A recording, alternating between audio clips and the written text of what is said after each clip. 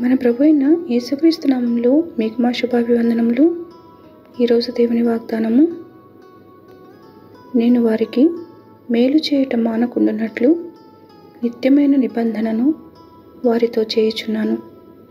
వారు నన్ను విడువకుండునట్లు వారి హృదయములలో నా ఎడల భయభక్తులు పుట్టించదను. ఇర్మియా ముప్పై రెండవ అధ్యాయము నలభైవ వచనము.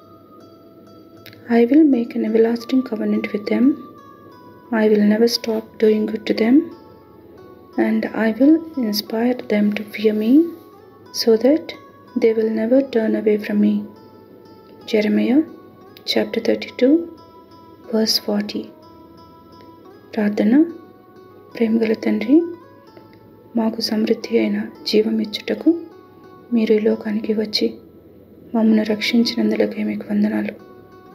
మా ఎడల మేలుకరమైన ఉద్దేశములు కలిగి క్షేమంలోకి మమ్మల్ని నడుపుతున్నందుకు వందనాలు.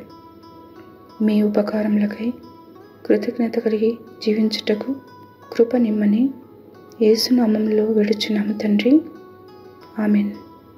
Have a blessed day God bless you